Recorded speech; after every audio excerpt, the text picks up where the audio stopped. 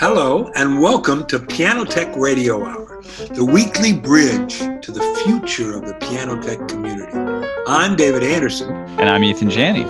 And we're here to ask great questions, and then we'll shut up and listen to some of the authorities, experts, and most outstanding personalities in our little world of pianos.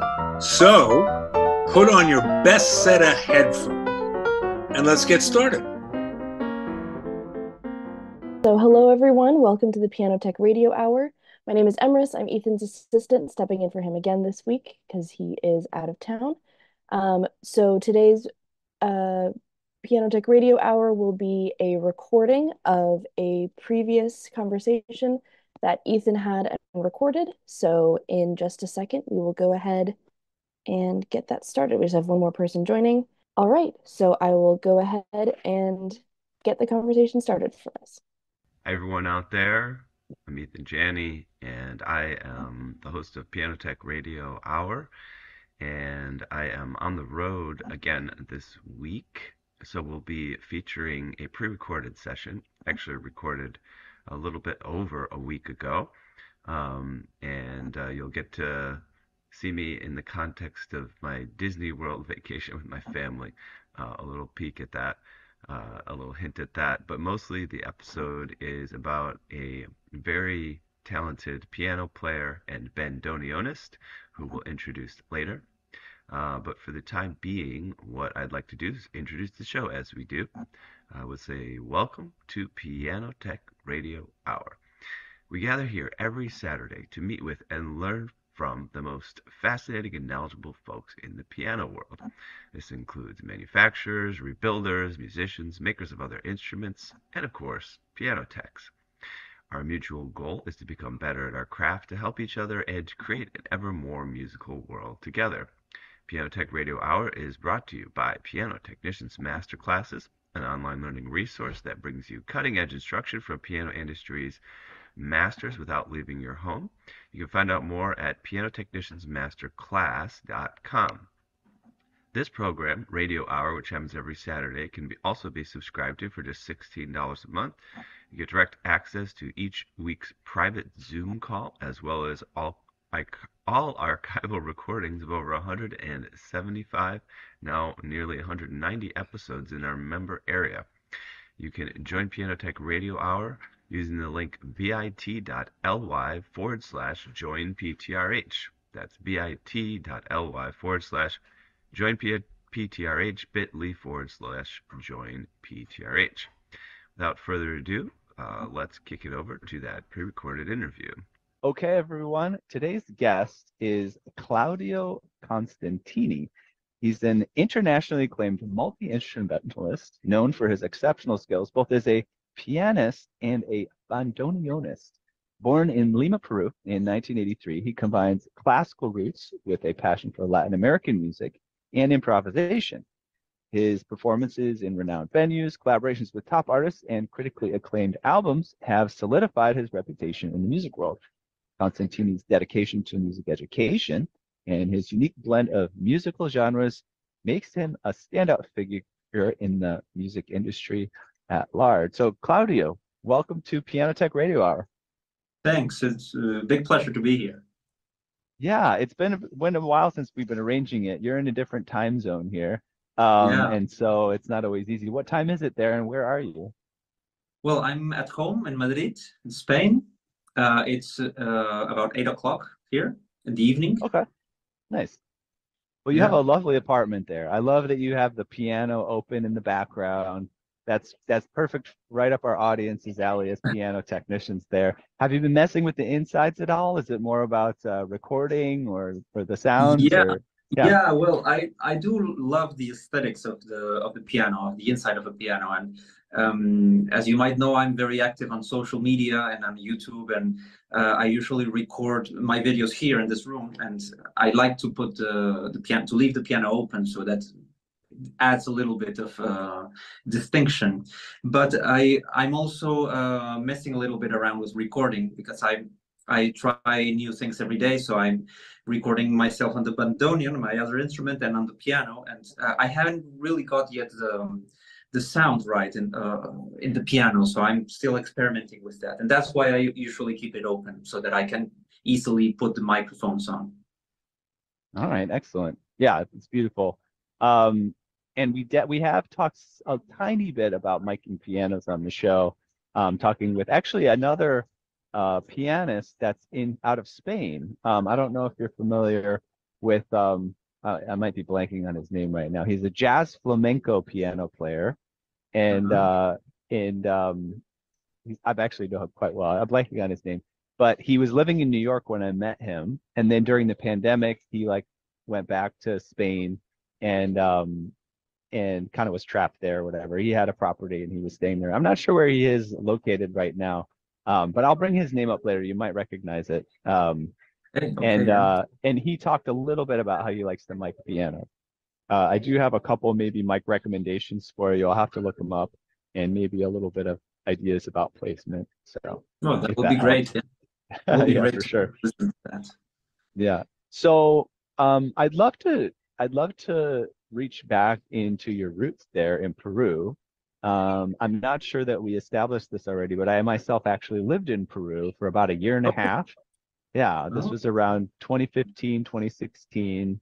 I brushed up on my Spanish, and I actually was calling myself an ambassador of pianos in Peru. and so wow. I would tune pianos for for free, um, just in exchange for the ability to tell the stories of the people and the instruments that I was uh, I was encountering. And uh, by the end of my journey in Peru, I had befriended a um, a diplomat uh, that was a piano player, um, and and um, uh, Fernando Torres Fernandez or Hernando Torres Fernandez was his name. Um, you should mm-hmm. meet him as a as a fellow Peruvian. I'm sure you guys would get along very well. World traveler, um, and I actually ended up uh, working with the president's pianos in the presidential palace uh, wow. by the end of my journey. Yeah, it was uh, it was pretty fun. So so I would love to reach back and and given I have a little bit of exposure to Peru, I'm also curious. What was your life of a developing musician in Peru? You know, education, mentorship, musical influences, environment. What was that like for you? Well, uh, I was fortunate enough to uh, be born into a musical family. So my mother is an orchestra conductor and my father was a pianist. He was my first piano teacher. But uh, to be honest, I didn't, uh, I wasn't interested in, in, music at all. I mean, I loved music, but I wasn't interested in music until I was a teenager. So when I was about 12 years old, I asked my father for lessons. And um, so it was just around then when I really liked music. I, I mean, I started to fall in love with music. And i started to think that maybe being a pianist would be something i'd like to do. And uh, that escalated really quickly and i became completely obsessed with piano. My parents they they were fortunate enough to study abroad. So they studied in rome they studied in new york also and they brought with them lots of records and lots of uh, sheet music. So i had a very good uh, library of of vinyls long play albums and and and sheet music. So um, what happened was that I started exploring these vinyls just on my own, and I started recognizing the music that my father used to play at the piano, or that my mother used to conduct, and this connection made me fall in love with music. So it became as I said, my obsession. I could, I went to school, but before going to school, I woke up like at 5 a.m. in the morning just to practice some piano before I could go to school. And when I came back, I went straight to the piano to play. So I spent all my day at the piano, apart from school. So, mm. so I advanced quickly uh, and made up for the lost time from childhood when I didn't study any piano. And uh, basically, I could say that my biggest influence in music have been my parents because they uh, they nurtured this love for music that I that I have.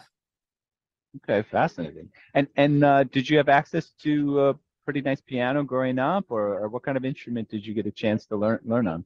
Well, uh, my father used to buy and sell pianos, so um, oh, really? he, we always had like different piano at home to practice, mostly uprights. Eventually, we got a very old uh, Blüthner piano, uh, um, uh, a grand piano, half mm-hmm. grand, and we stayed with that one for quite a while. Uh, but mostly I have been practicing in old German pianos, upright pianos, and at home. Okay, yeah. And are you familiar with Anders piano out of out of Lima? Yeah, of course I'm familiar with him. Yeah, he he is uh, he has been there like forever. Uh, he's like the main, the biggest or the most well-known uh, tuner and, and, piano dealer in in Lima, and I guess perhaps in Peru. But um, he also tunes the piano for the Philharmonic Society, where I uh, often give concerts. I will actually give a, a, piano recital in, in a couple of months over there, and I always meet him over there. Okay, great. Yeah, I made friends with him when I was there, and um, we've talked about uh, we've talked about Anders piano on this program before. Incidentally, um, uh-huh. that was kind of one of the um, one of the encounters I had in my journeys, and I wrote some blog posts um, about about working with him. And yeah, we went out for some uh, some uh, ceviche a few times out there in Lima. He's a great nice. guy. Nice, nice. That's awesome. Uh, um, well, you definitely have to meet Hernando as well if you don't know Hernando because like yeah, I don't. You would get along. Probably have know some some of the same people as well because he was well connected in the music industry um, in Peru. Um, all right, well that's that's really fascinating, and uh, clearly you had a lot of rich you know resources to work with as you was growing up. Yeah. Did the bandoneon uh, come a part of your journey with your parents? Did they introduce that to you, or is that something that came um, later?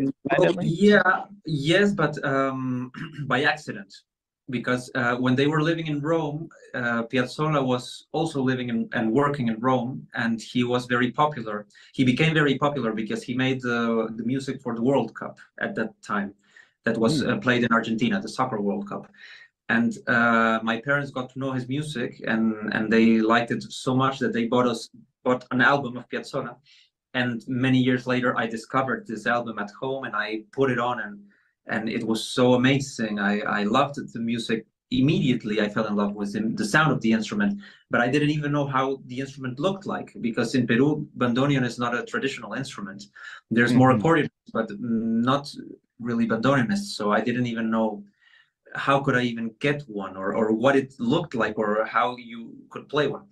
So uh, it was kind of like a dream for me, like a daydream to be able to hmm. play the bandoneon. And it stayed like that for a few years uh, until I was living in Finland at the time. Uh, I was about 20 years old and I decided to buy a bandoneon and I, I bought and I that was the very first bandoneon that I saw the bandoneon that I bought from Argentina, they sent it to to Finland. And I, my journey with the bandoneon was solitary because in the beginning I didn't have any teachers. I was in a town up north in Finland called Lahti, and uh, a small city of about 40,000 people compared to Lima, which has several million people. It's uh, very small. And uh, as I said, there's there was no Bandoneon teacher or Bandoneon player that I could uh, get any sort of advice from. So it was, uh, and uh, there was no YouTube, there was no tutorials. So it, it was, I'm speaking about year 2002, more or less. Um, so I didn't have access to, to lots of, of information over there. But um, as I said, it was kind of an accident that my parents introduced me in this way to, to the bandoneon via Piazzolla's music.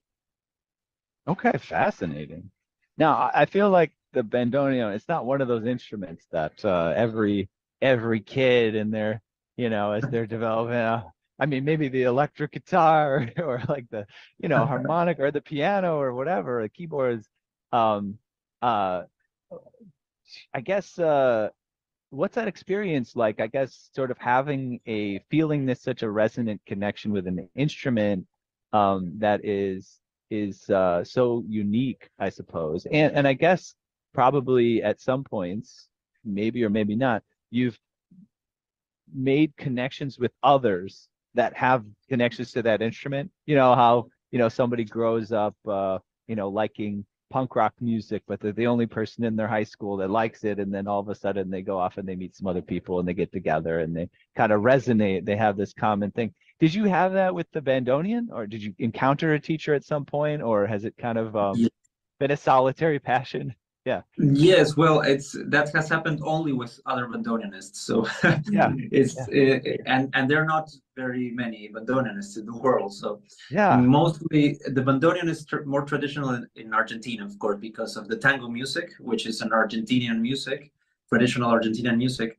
Uh, but the bandoneon is actually German. It's a German invention, and in Europe, there's a few places where there are some players. Like for example, in in the Netherlands, where I also used to live, there's a few good bandoneon players. Also in France, especially in Paris, and also in Germany. So um, sometimes when I visit these places, I I know who are the bandoneons over there because there there are so few of them and uh, eventually I meet them. Or sometimes uh, bandoneonists from Argentina fly over to Europe, and uh, if they're in Madrid, they will contact me, even if I, even if they have never met me or spoken to me personally. But we are so few bandoneonists that we know of our existence, so we get together in, Mhm. in whatever opportunities we have.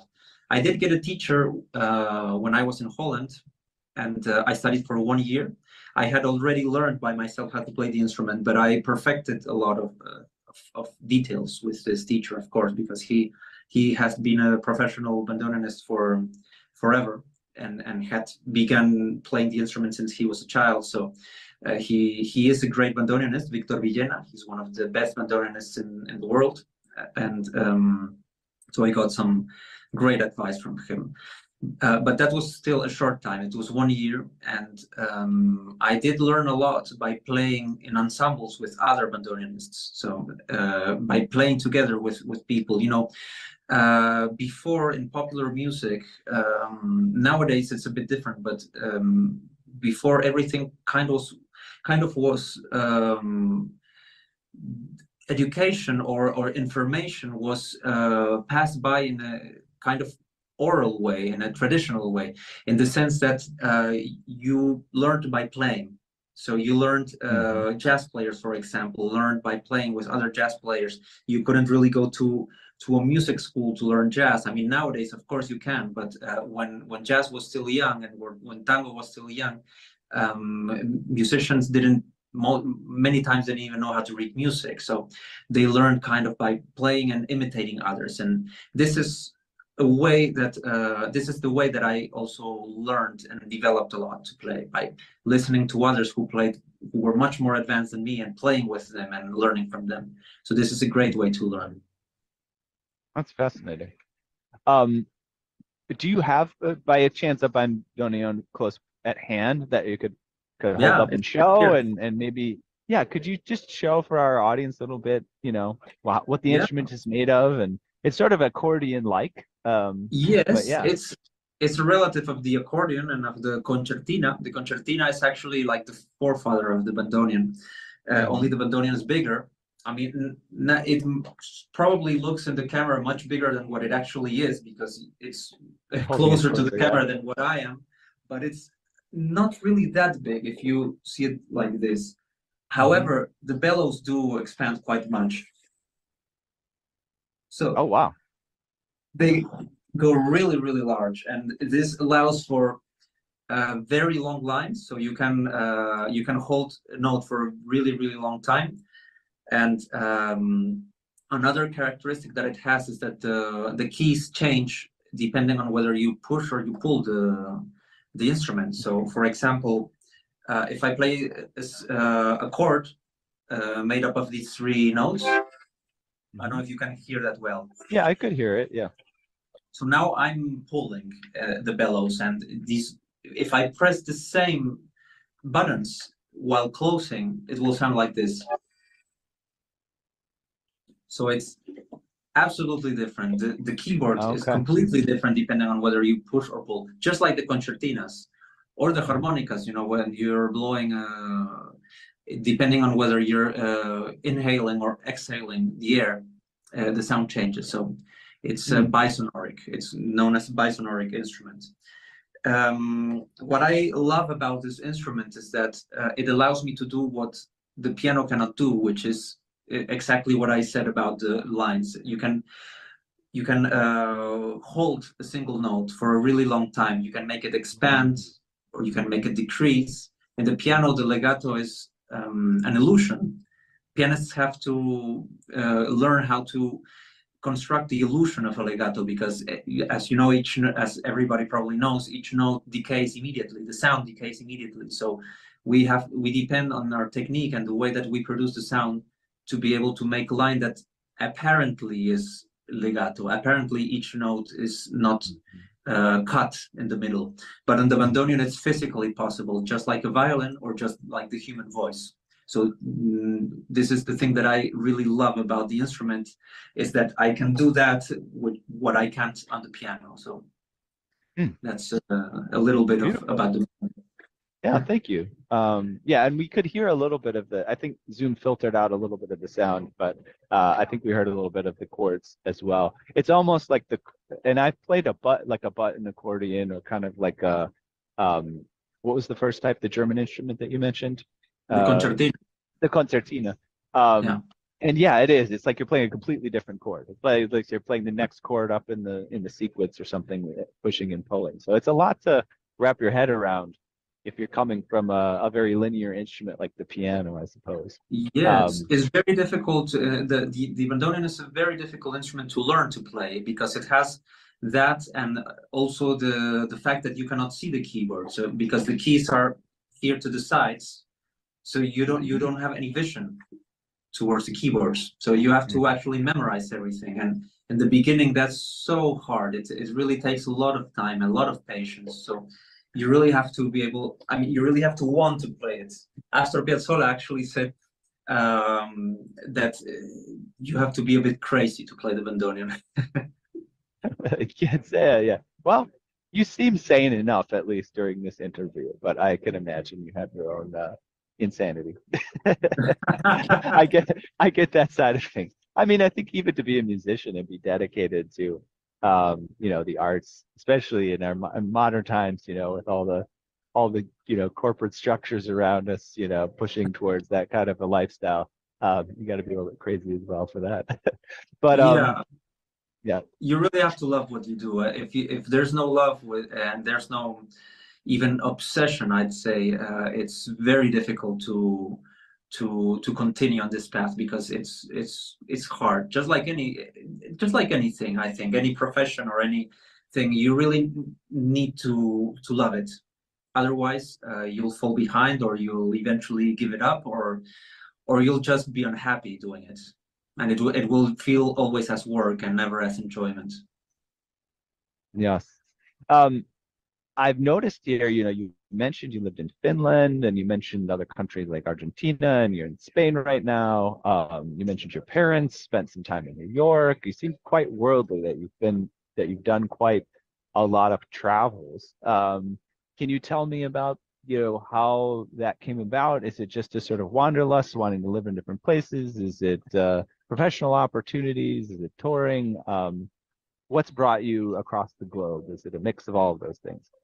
Yeah a, a mix of all of, of, of all of those things. In the beginning it was uh, of course uh, i wanted to study abroad because uh, peru is especially during the time when i was a teenager it was not the best place to be uh, musically uh, as a classical musician which was what i was pursuing classical music.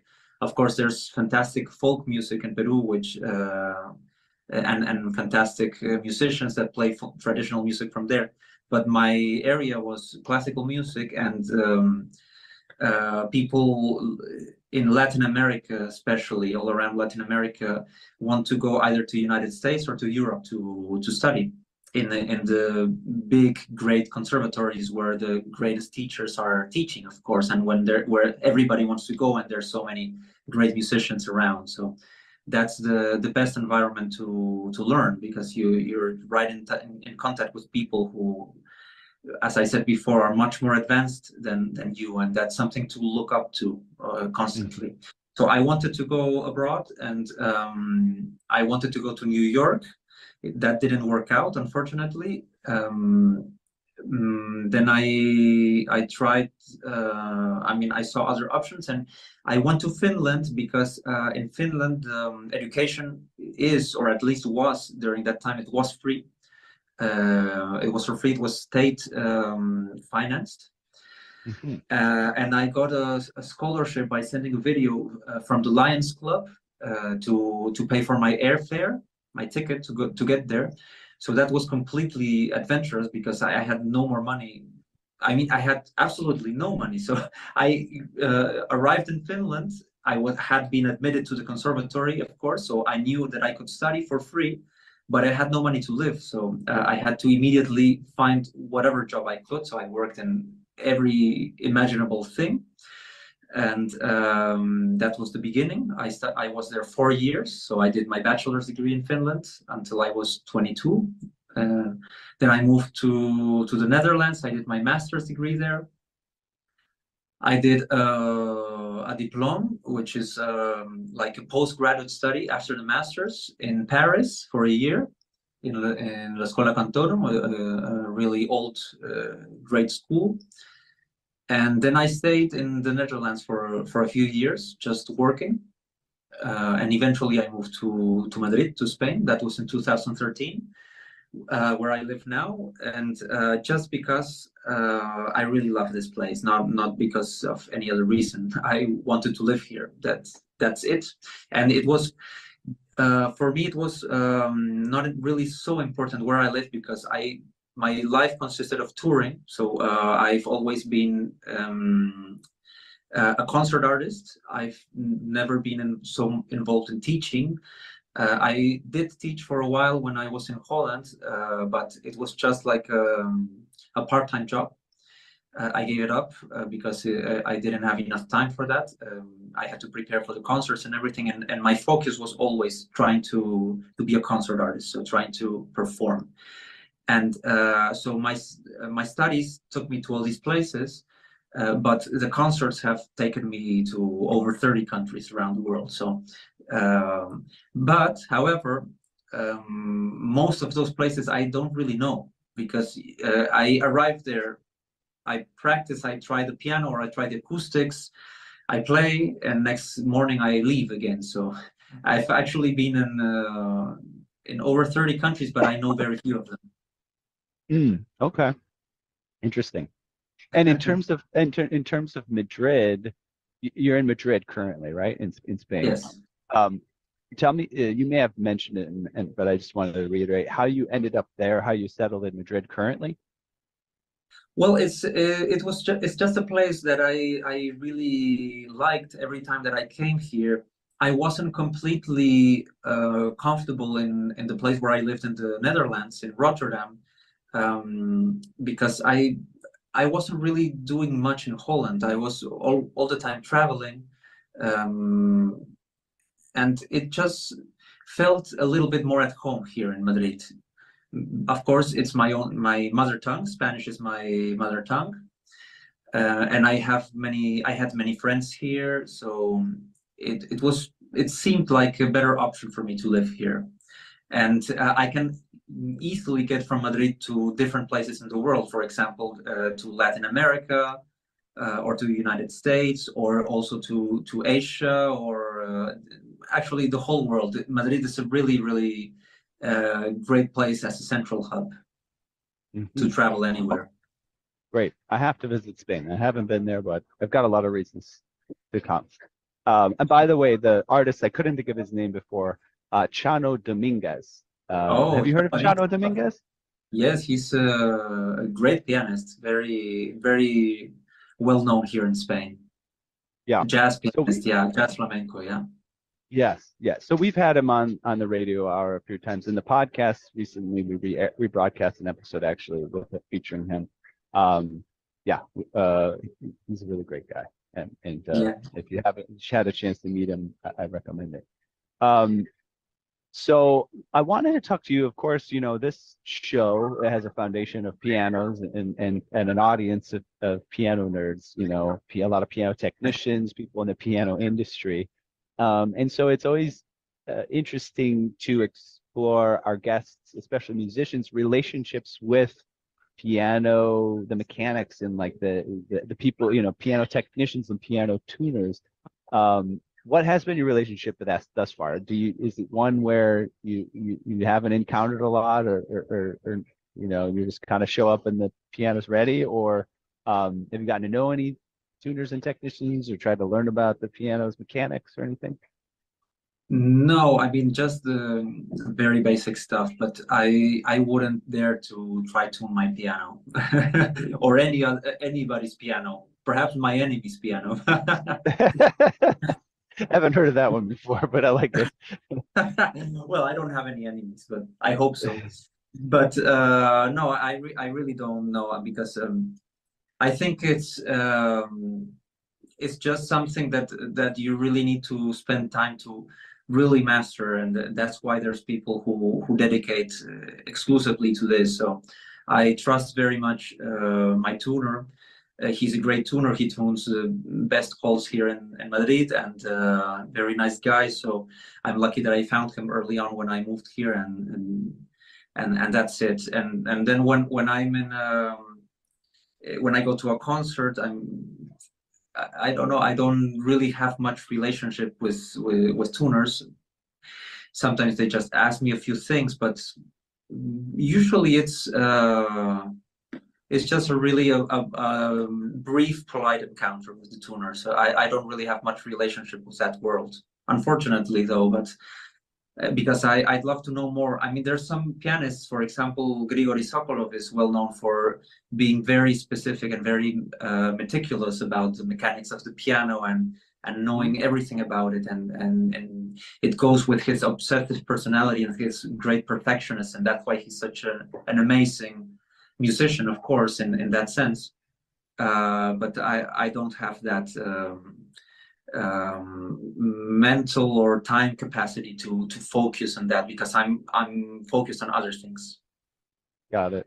Well, your piano's open there, so you'll probably pick up a few things about the mechanics, I suppose. um, well, yes, of know- course.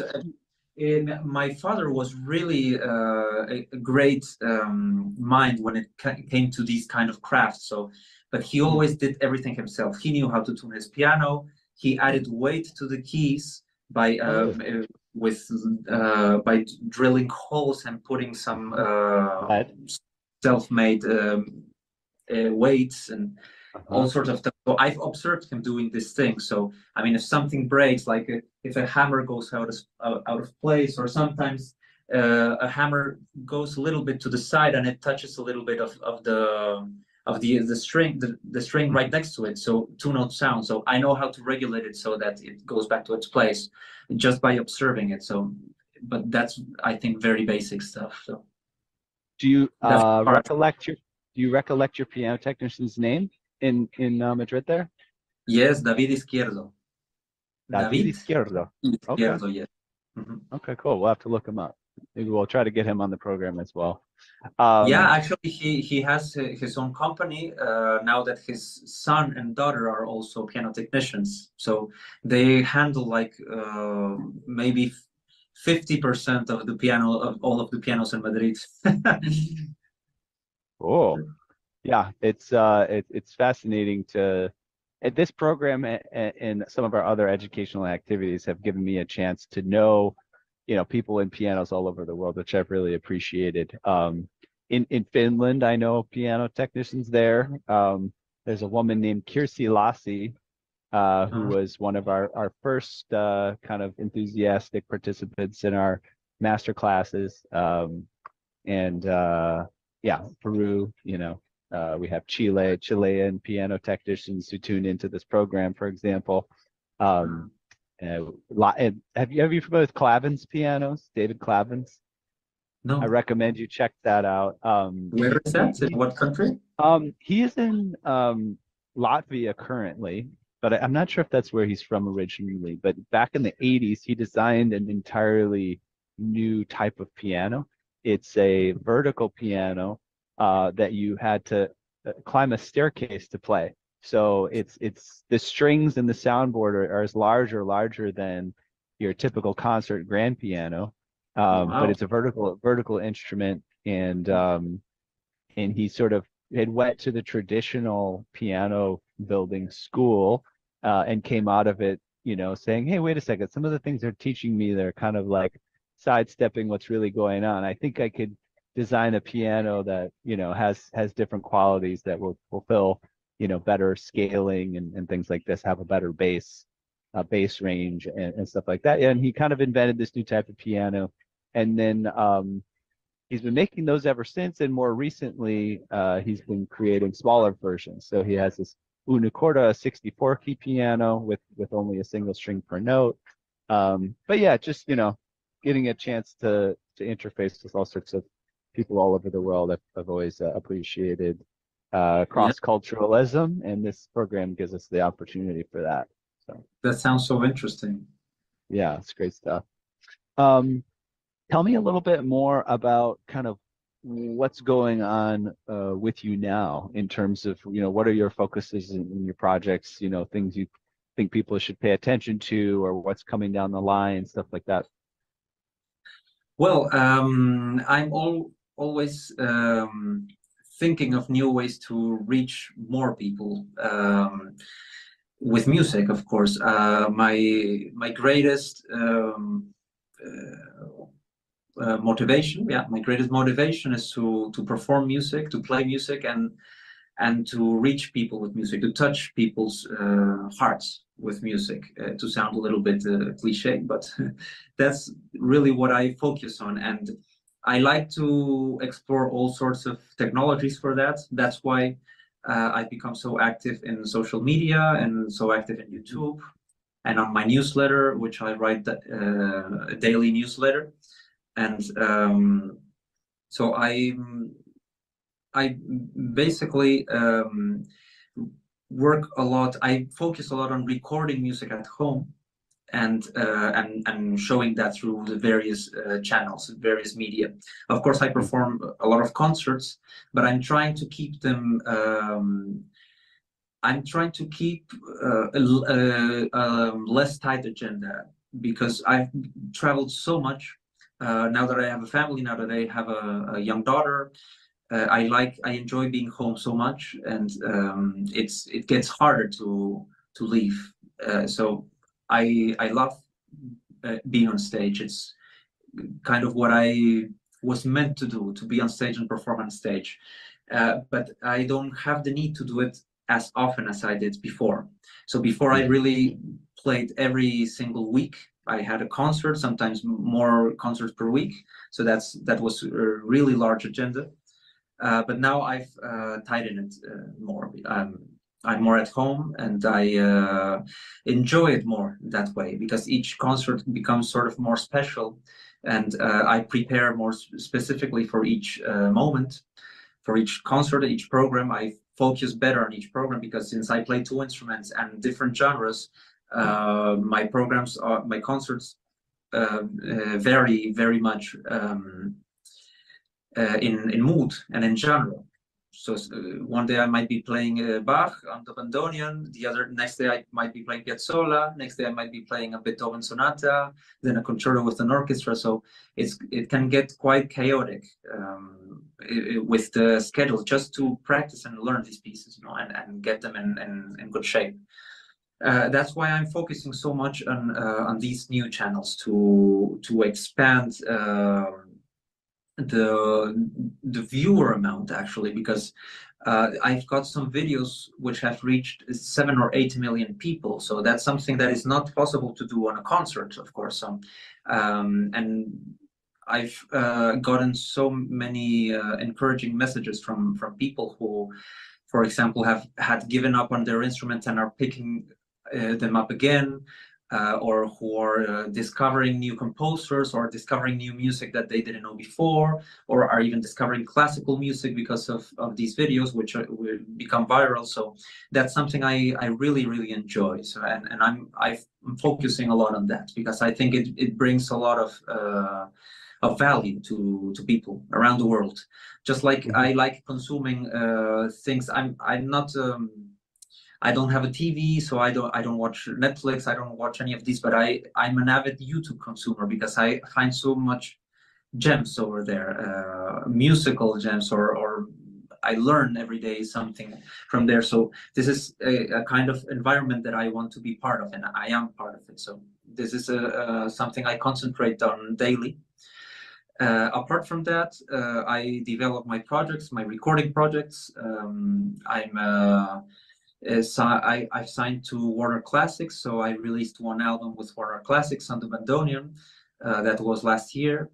Uh, I'm planning my next one, which is going to be with the piano and the bandoneon and an orchestra. And uh, so this is I'm going to be touring that in next year, 2025, 2026. Uh, so these are kind of my projects, and of course, just performing uh, the music that I love to perform. Mm-hmm. That's a lot. Um, when did you get started with the YouTube?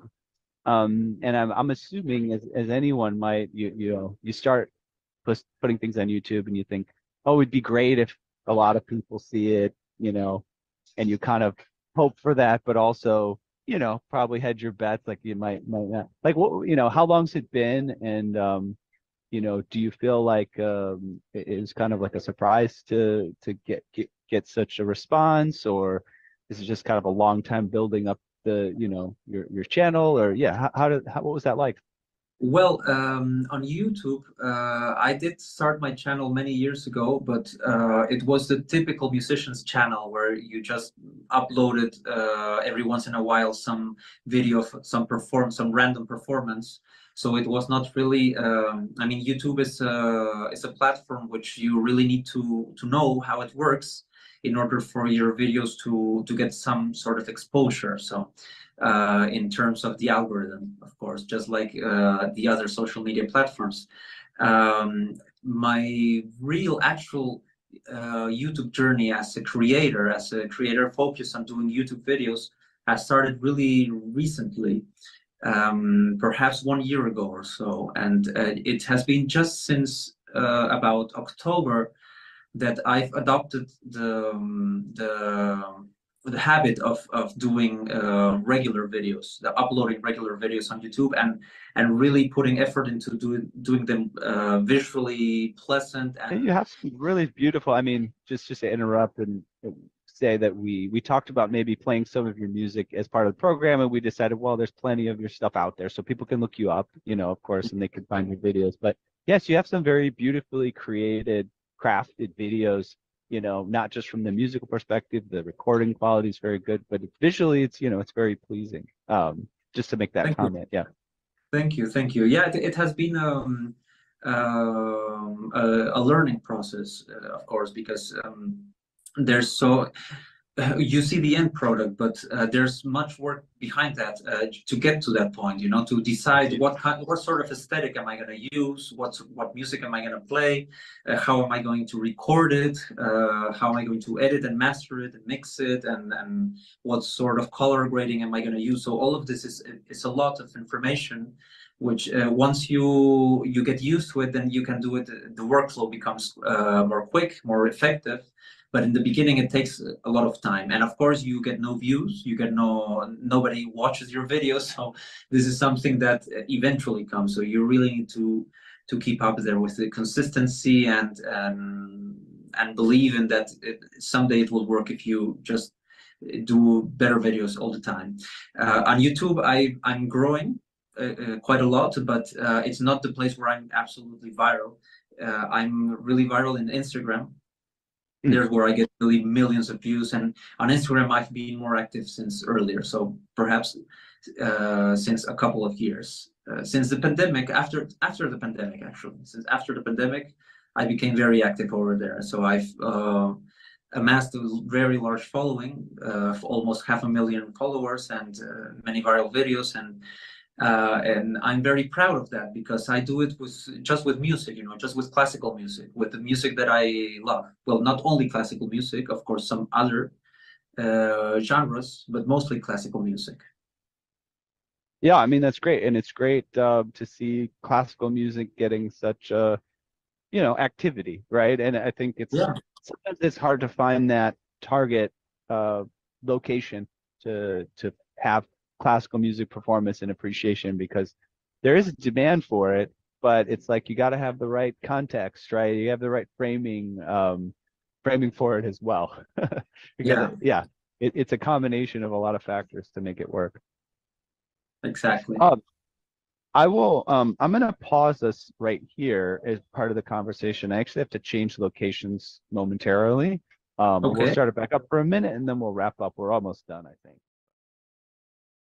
All right, we're back, everyone. Um, I just had to change locations, and uh, I guess that's that's probably for the best because uh, I didn't mention it during our interview, but uh, I'm here in Disney World right now with my family, taking a break to do this program, and hey, you get to see the uh, the good old Cinderella's castle in the background, and uh, and get the Disney vibe uh, while while I'm here as well as we wrap things up.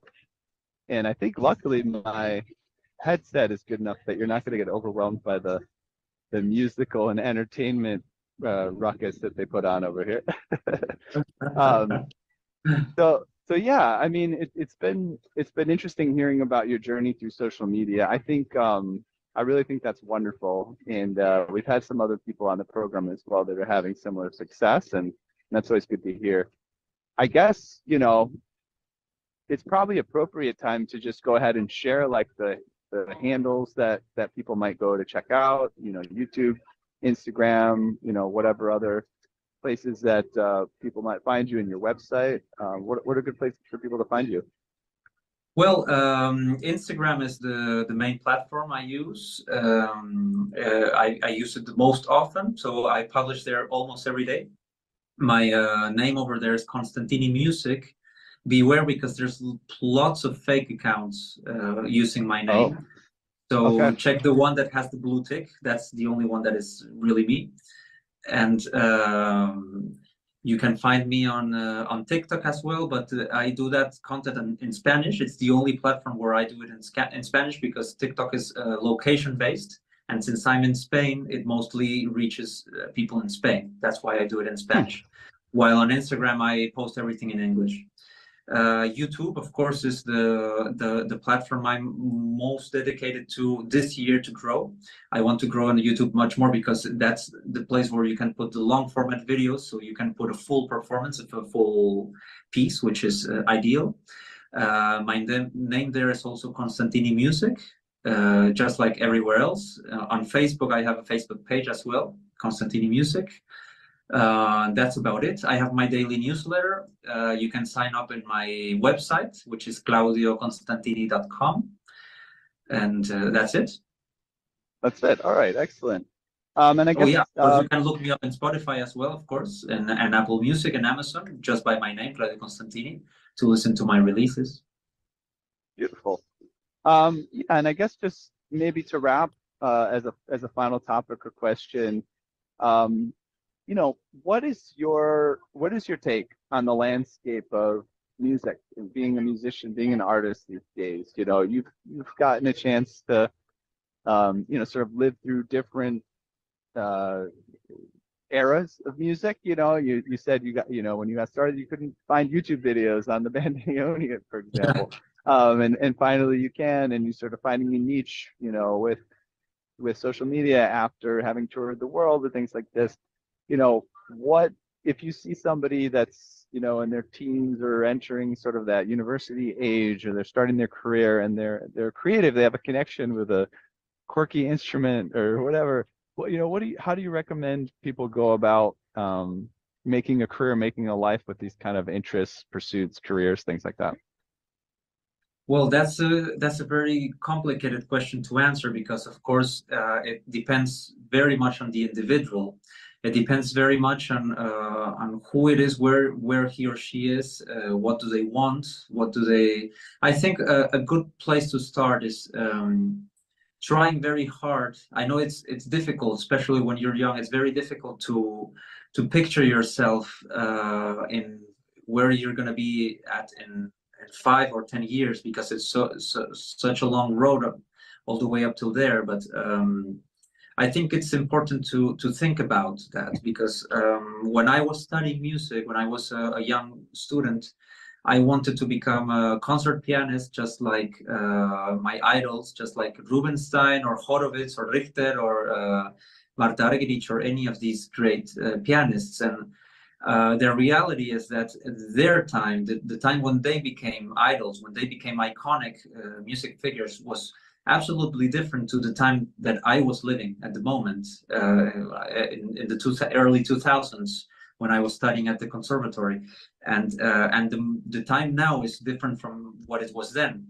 because it's all all the time evolving. The market is evolving. The uh, music is evolving. Uh, the the way that people consume music is evolving. Artificial intelligence is coming. So there's plenty of things that might change the landscape of uh, of what um, professional musicians might be used to at the moment. So what I uh, would suggest to anybody, be it a young musician or or uh, of the musician of any age, is to be very open and and keep the prejudices aside of any sort of new technologies, practices, and and stuff because um, things change really really quickly and. Uh, at the end, there's two ways of uh, being a musician. Uh, uh, being an amateur musician or being a professional musician and the main difference that uh, that i see of course there's many but and this might sound cold but the main difference that i see is uh, in one of them you do it because just because you like it and in the other one you actually make a living out of it.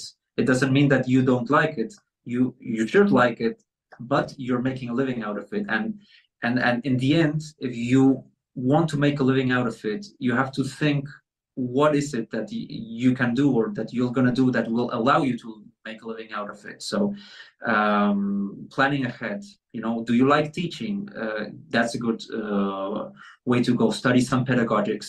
You don't like teaching or you're you don't think you're good in teaching or whatever, then focus on uh, building a career as a performer, as I did.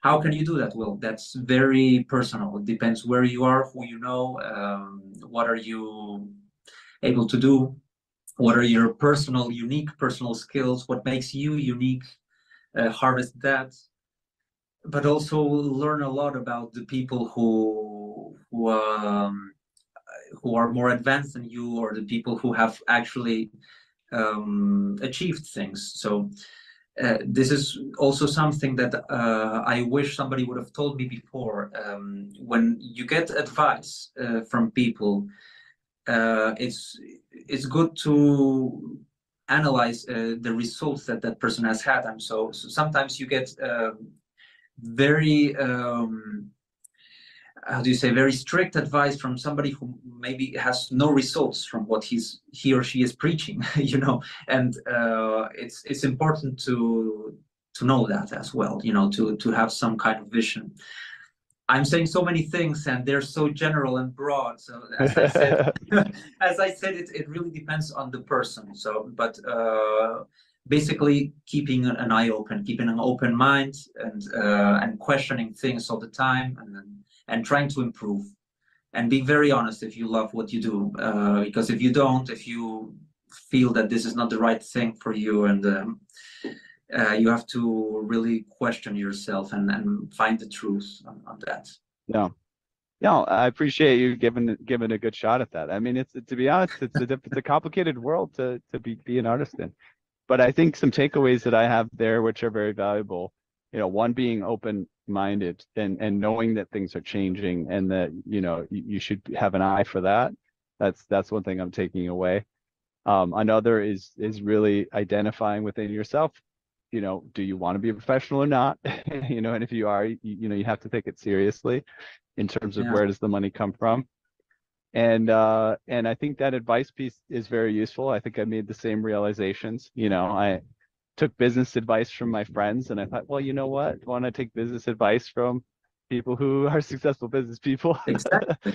Exactly. Yeah. yeah, because you know that you yeah. get so much, so much advice from from uh, musicians who you know it cannot earn a living from uh, from what they right. do, and and and and it's good it's good to focus and to really. Uh, delve your, uh, into the music and into learning as much as you can into the music. But uh, if you're locked in, in a room studying piano for 12 uh, hours a day for four years, when you get out of the conservatory, you don't know how to do much anything else, uh, much less how to run a business out of your music. Because at the end, if you want to live out of it, you you have to run a business in a way, even if some people don't feel comfortable with that word because they have kind of negative connotations. Uh, some people think that when you think of money or when you think of business in art and any sort of art, you cheapen the art. But I don't think it has anything to do. I mean, it's just a matter of, of, of, offering great value to people. You should always offer great value, the best possible,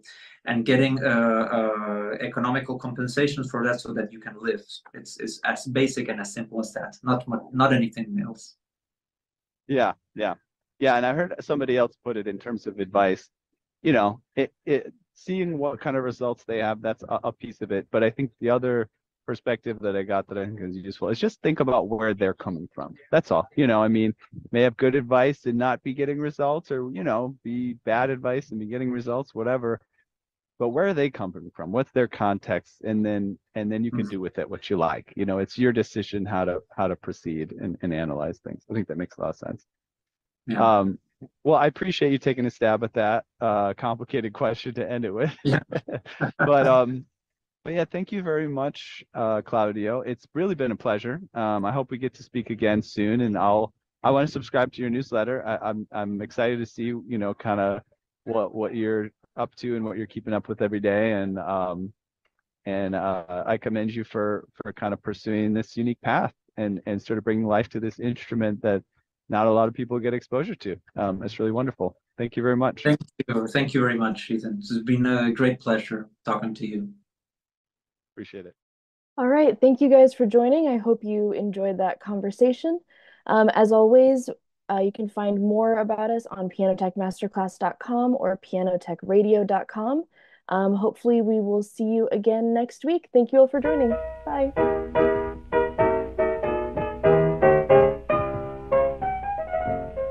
Thank you so much for giving us an hour of your time. Remember that you can catch us live online every Saturday at 2 p.m. Eastern Time. That's right. Go to pianotechradio.com to register so you can interact live and ask questions of our guests. See you next week.